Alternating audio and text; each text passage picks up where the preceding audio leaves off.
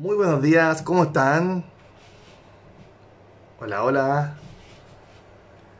Espero que bien. Vamos a ver si alguien se conecta hoy. Hola, hola. Muy buenos días. 6 horas. Hola, hola, ¿cómo están? ¿Alguien por ahí?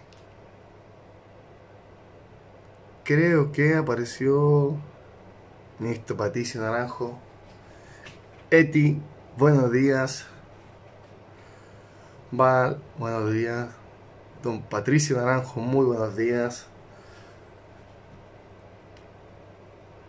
¿Cómo se escucha? Eso es importante. Vamos a ver cómo se escucha. Vilma, muy buenos días. Si alguien me puede decir cómo se escucha. Hola Carola, ¿cómo estás? Buenos días.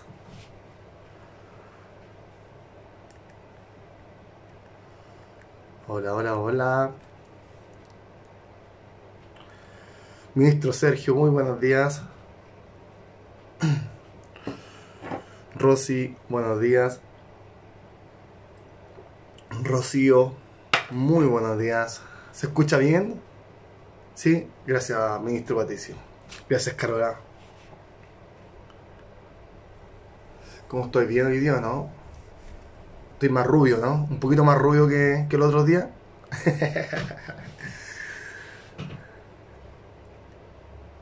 Se escucha bien, perfecto. José, ¿cómo estás? Buenos días. Val, gracias por responder. Dice, eh, se escucha bien. Estamos ok.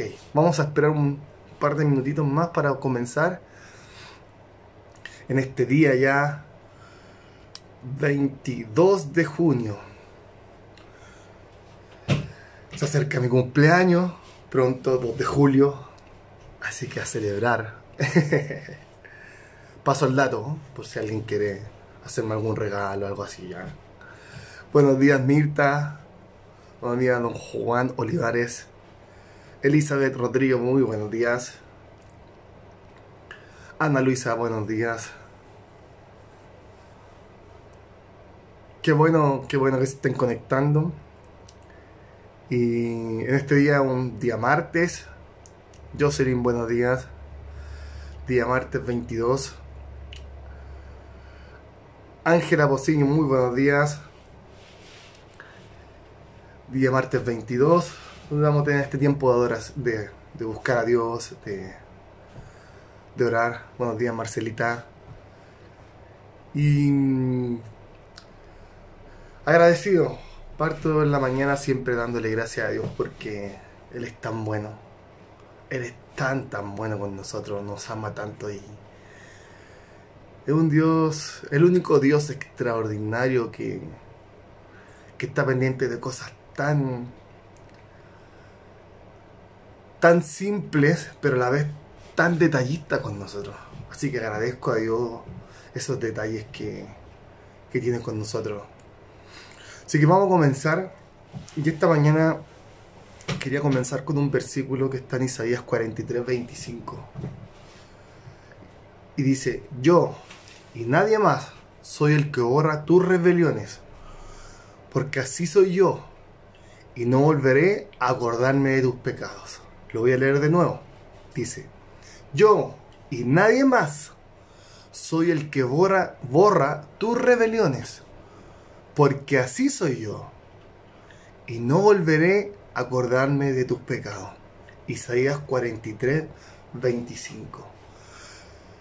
Y al preparar esto, decía, voy a poner un versículo de agradecimiento, y, de repente me encuentro con esto y dije, ¿qué mejor cosa que darle gracias a Dios?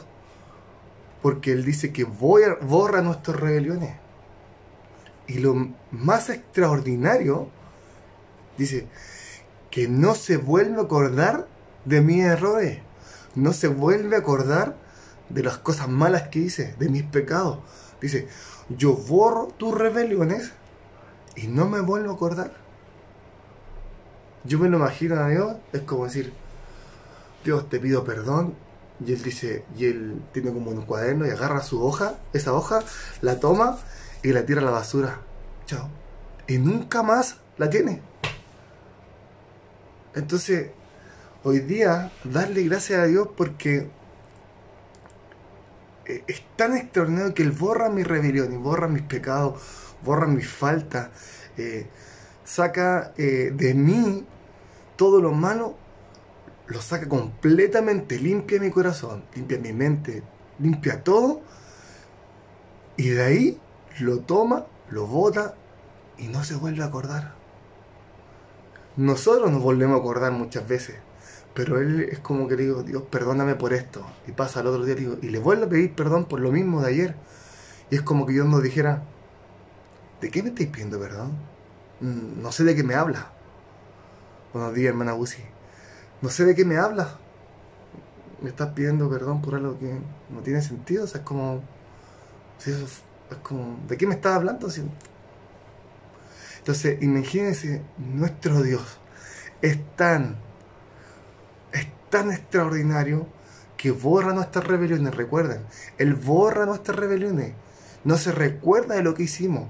No se recuerda de nuestros pecados. No ama tanto. Que no se vuelve a acordar de las cosas malas que hicimos. Entonces hoy te quiero invitar a que no vuelvas a recordar lo que ya, por lo que ya pediste perdón. Quizás con las personas se vuelven a acordar, oye, lo que me hiciste hace un tiempo, mira lo que pasó esto, aunque le pediste perdón, y se vuelven a acordar. Pero nuestro Padre, nuestro Dios, no se vuelve a acordar. Borra nuestros pecados, recuerda, ya tus pecados fueron perdonados. Cuando tú reconoces a Cristo, cuando reconoces que pecaste, ya borró tus pecados. No se vuelve a acordar. No permitas que tu pensamiento, que el diablo venga a poner pensamiento de que lo volviste a hacer, que lo volviste y que Dios no te va a perdonar y que le pediste perdones, pero no sé si está perdonado. No.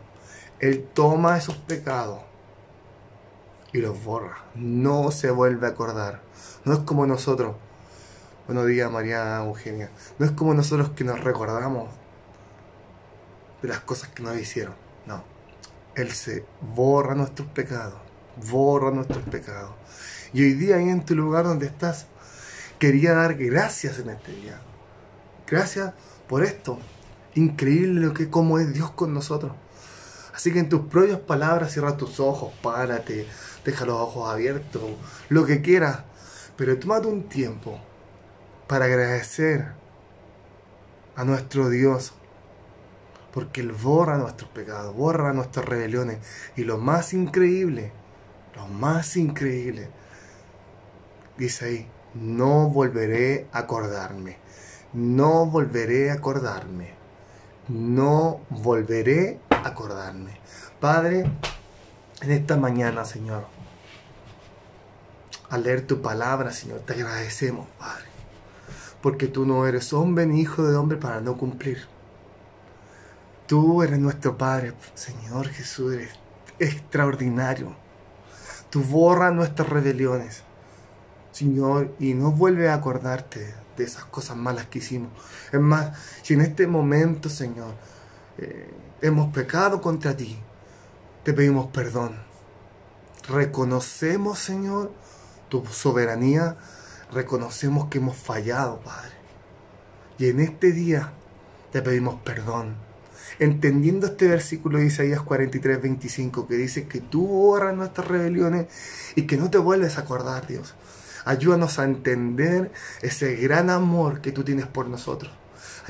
Ayúdanos, a entender que cuando nos perdonas, lo haces de verdad.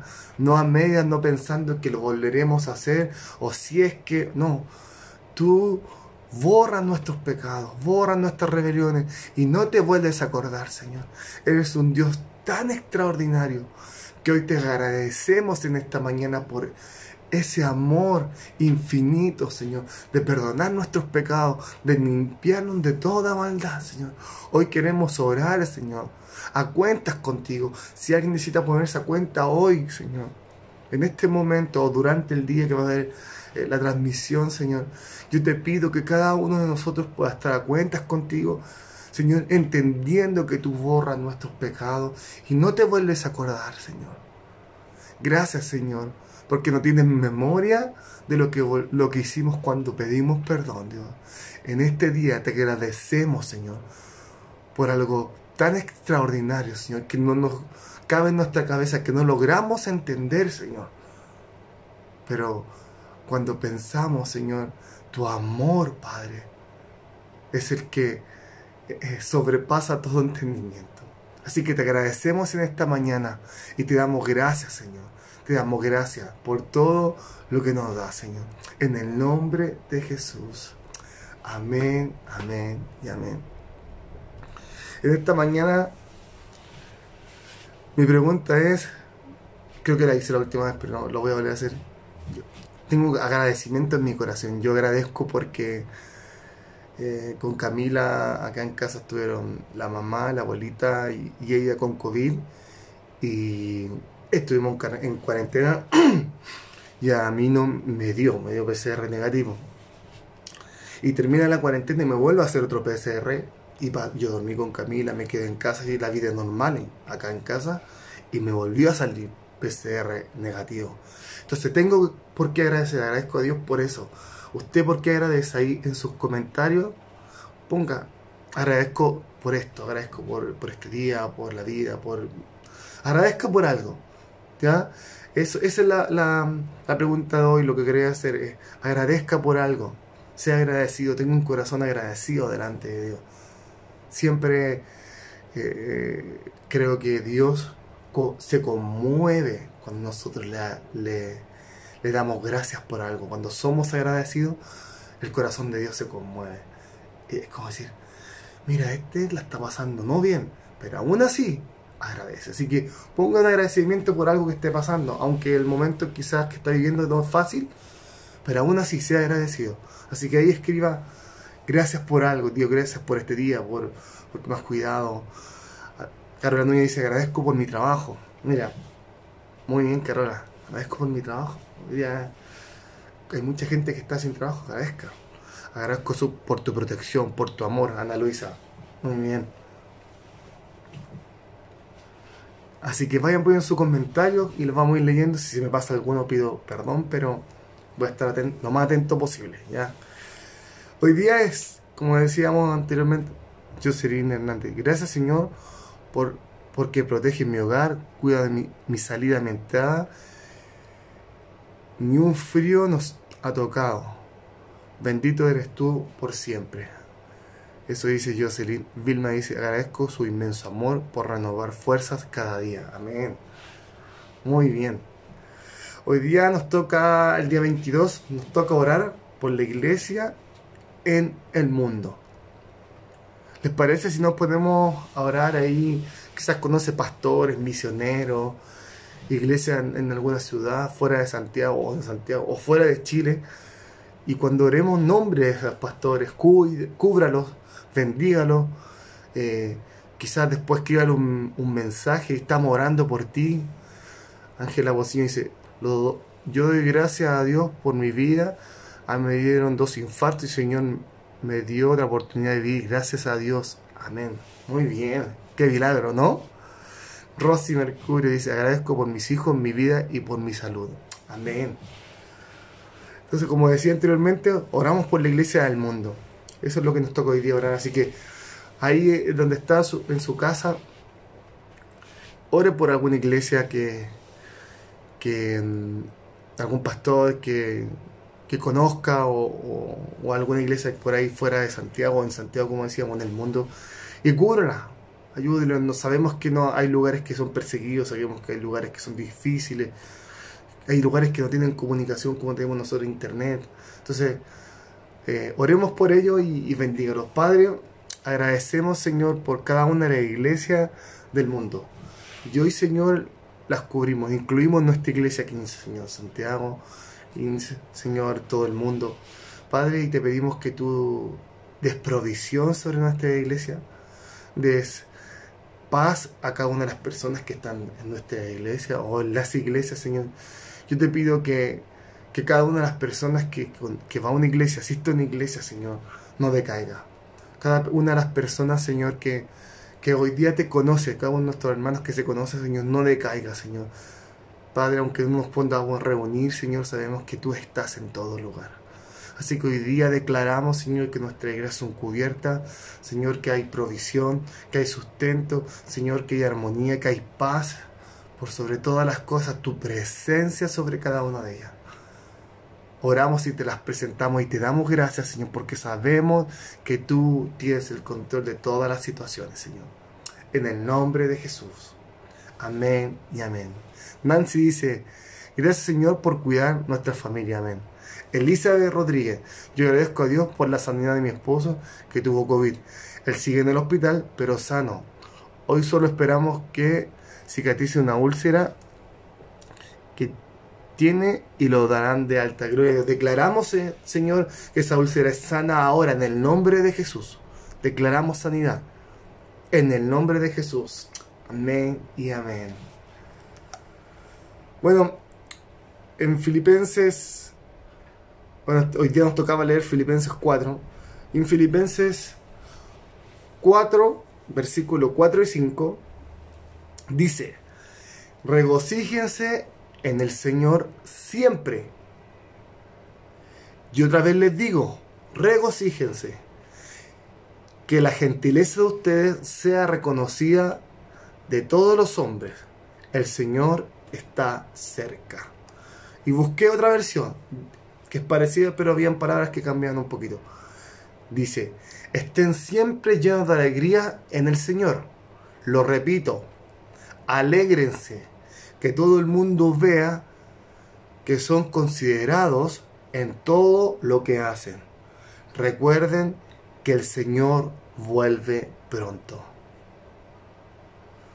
Y cuando leí este versículo, estos dos versículos de regocijarse, de estar alegre, me puse a pensar qué veían mis vecinos de mí o qué veían las personas de mí cuando me tocaba trabajar y yo me estoy regocijando, estoy alegre. Dice en una parte del versículo que la gentileza de ustedes sea conocida de todos los hombres. Y la otra versión dice que todo el mundo vea que son considerados en todo lo que hacen.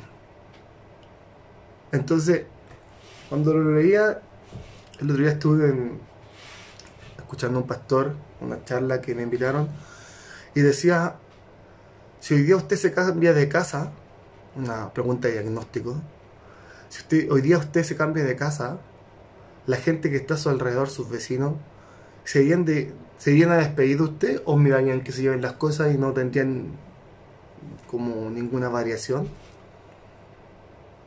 Entonces, ¿Cómo hoy día nos ven nuestro alrededor? No podemos salir a predicar, quizás a las calles, hacer algún evento evangelístico. No podemos. Pero sí tenemos vecinos cercanos. ¿Cómo nos están viendo ellos? ¿Nos están viendo, nos están viendo como con alegría? ¿Nos están viendo eh, sonriendo, que tengamos gozo? ¿O nos ven preocupados porque eh, está todo malo porque por las vacunas, porque hay gente que se enfermó. ¿Tenemos algo distinto con ellos? Entonces dice la Biblia, regocíjense en el Señor. Y otra vez les digo, regocíjense. Que la gentileza de ustedes sea conocida de todos los hombres. El Señor está cerca. Entonces nosotros tenemos que marcar la diferencia. Para mí Dios cuando, cuando leo estos versículos, Dios habla muy fuerte a mí y me dice, no puedes ser igual a los demás. Tienes que marcar la diferencia. Tienes que sonreír. Quizás no puedes abrazar a la gente por todo lo que pasa, por cuidarse y está súper bien. Pero si una sonrisa, si un saludo, si que ellos vean algo distinto. Entonces, reflexiona eso. Quizás eh, alguien está de tus vecinos, tus cercanos, está pasando alguna necesidad, anda a tocar el timbre o la puerta y déjale una fruta o déjale algo para compartir y sonríele. Que ellos vean que tú tienes regocijo. Nosotros en Dios nos regocijamos. nosotros en Dios estamos alegres. No desconocemos lo que está pasando a nuestro alrededor. Con la gente que está enferma, con todos los trabajos, todo lo que se viene, elecciones, ah, tantas cosas. Pero aquí la Biblia nos dice, regocijémonos si es que esto está bien. Regocijémonos, estemos alegres. Si es que esto, no, dice, regocijes en el Señor siempre. Regocíjense en el Señor siempre. Y otra vez les digo, regocíjense. Entonces hoy, alégrate. Disfruta de la presencia de Dios. Disfruta que la gente vea que tú estás en otro nivel. Y no quiere decir que miremos en menos a los demás, no. Pero cuando estás en Dios, estás en otro nivel. Mira la vida, mira tu, lo que estás haciendo, mira tu entorno. Porque de una, de una forma sobrenatural, Dios nos dice, miremos las cosas en otro nivel. Vamos al nivel de Dios, al nivel sobrenatural, donde pasan cosas sobrenaturales, donde suceden cosas que no entendemos, que no hay explicación natural y nunca la vamos a encontrar naturalmente. Pero cuando vamos a ese nivel sobrenatural, aún en medio de las pruebas, aún en medio de las dificultades, aún en medio de cosas que están pasando en nuestra mente en estos momentos, en nuestras luchas,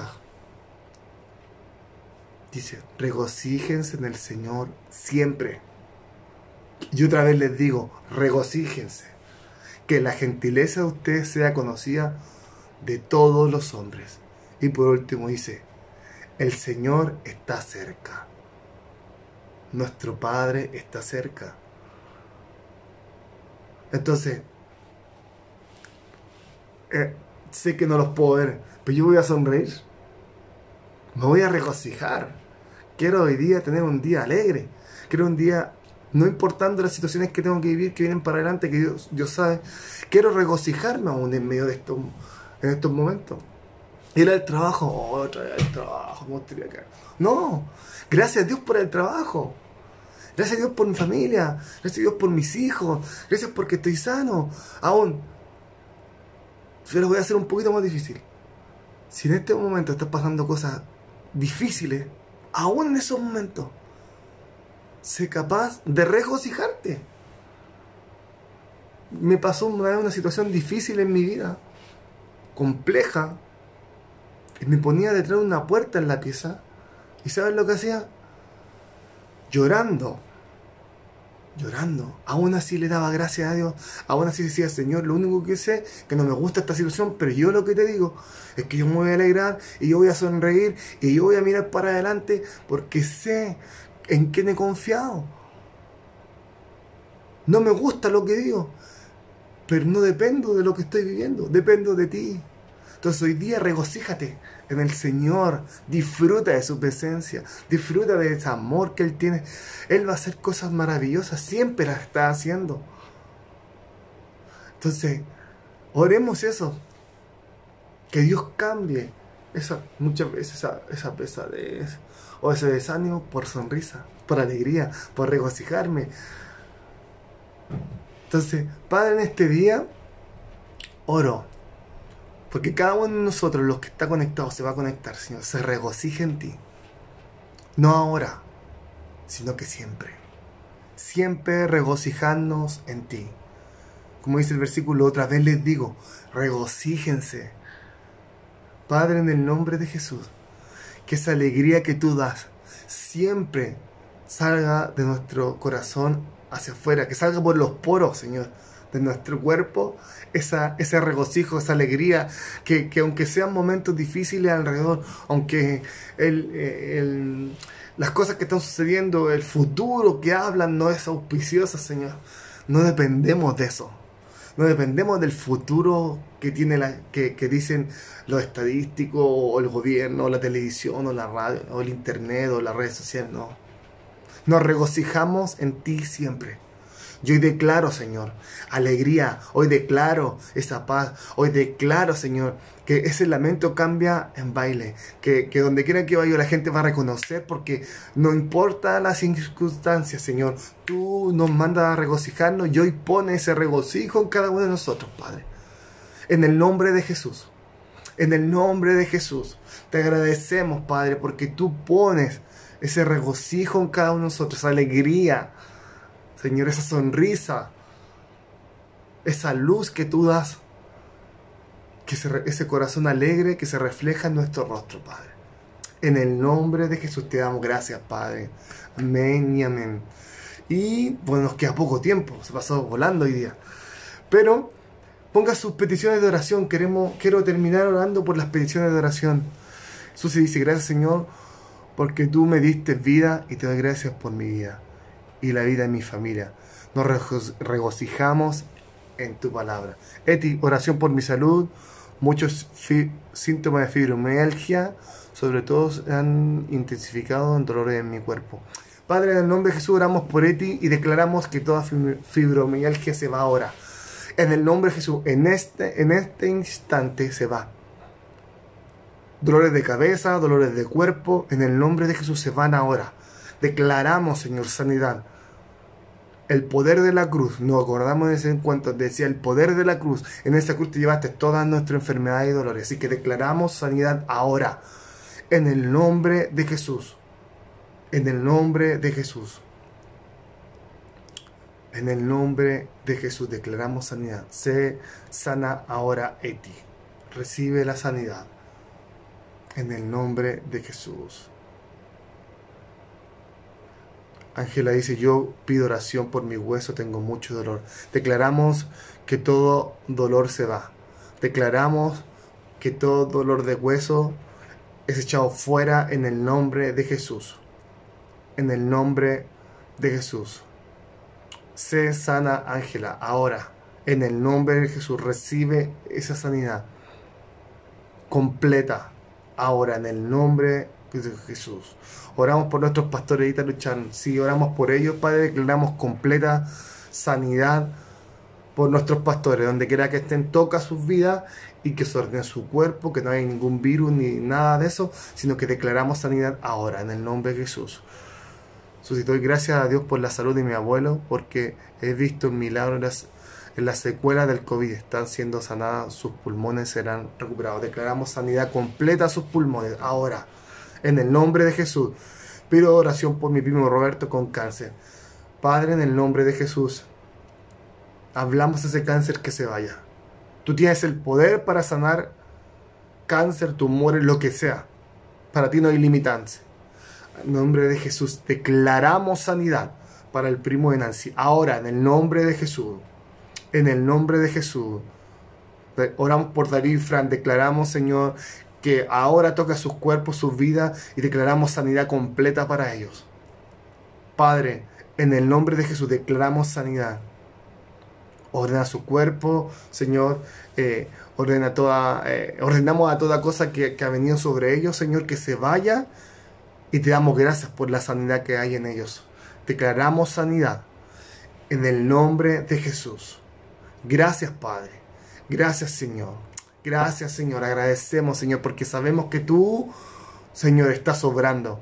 Oramos, Señor, por cada una de las peticiones que van a salir durante el día. Ora, como dice Ana Luisa, por nuestros hermanos que están luchando con enfermedades, Señor. Así es, oramos por eso, por las personas que están luchando con enfermedades, Señor. Háblanos, Señor, en todo momento. Revélate eh, en nuestras vidas, Señor. Y y Señor, si tú nos tocas, Señor, sabemos que si tú tocas, tú, tú das la orden, Señor. Toda enfermedad se va. No depende de nosotros, depende de ti, Señor. Declaramos sanidad, Señor, a cada una de las personas que se va a conectar hoy día o que va a pedir alguna petición durante el día. Las personas que han pedido eh, oración ahora, Señor. Padre, gracias te damos. Gracias porque sabemos que está hecho. En ti confiamos. Sabemos, Señor, sabemos en quién confiamos. Eti dice, doy gracias a Dios por sanarme de bronquitis crónica. Gracias Señor. Gracias, así como Eti pone ese, que tú lo has, la sanado. Sabemos que hay mucho más que tú has sanado, Señor. Sabemos muchos milagros, Señor, que nos han contado, pero sabemos que tú haces milagros. Sabemos que tú sanas. Sabemos el poder que tú tienes. Así que te damos gracias, Padre, en este día. Te damos gracias, Señor, por todo lo que haces y lo que harás. Que este día sea un día de bendición. Declaramos victoria en todo tiempo. Declaramos tu paz, tu provisión, Señor, tu cuidado, Padre. En el nombre de Jesús. Señor, armonía en nuestros hogares, armonía en nuestras casas, Señor. Guíanos en todo lo que estamos haciendo. Guíanos en todo lo que vamos a hacer, Señor. Padre, danos la oportunidad de poder orar por otras personas. Pone en nosotros, Señor, esa, esa pasión por la gente que hoy día no te tiene. En el nombre de Jesús. Yo, Señor, agradece al Señor por mi hermana que está sana. Gracias, Señor. Gracias, Padre, porque sabemos, Señor, que sigues haciendo milagros. Es un Dios extraordinario, Señor. Es un Dios sobrenatural, Dios. En el nombre de Jesús, te damos gracias, Padre, por todo lo que nos da, Señor. En el nombre de Jesús. Amén y amén. Y me quedaron dos versículos. Tenía uno para dar al último, pero se me quedaron dos versículos. Los voy a leer y, vamos a terminar la, la, transmisión, pero que esto les pueda servir durante el día. Dice Santiago 1.12. Dichoso el hombre que soporta la prueba con fortaleza, porque al salir aprobado recibirá como premio la vida, que es la corona que Dios ha prometido a los que le aman. Dichoso el hombre que soporta la prueba con fortaleza, porque al salir aprobado recibirá como premio la vida, que es la corona que Dios ha prometido a los que le aman. Eso está en Santiago 1.12. Y el último versículo que les quería dejar para que piensen durante el día y tengan claridad de lo que es nuestro Dios. Y este versículo, y ahí vamos a terminar, pero miren, dice, yo soy el Señor, Dios de toda la humanidad. ¿Hay algo imposible para mí? Yo soy el Señor, Dios de toda la humanidad.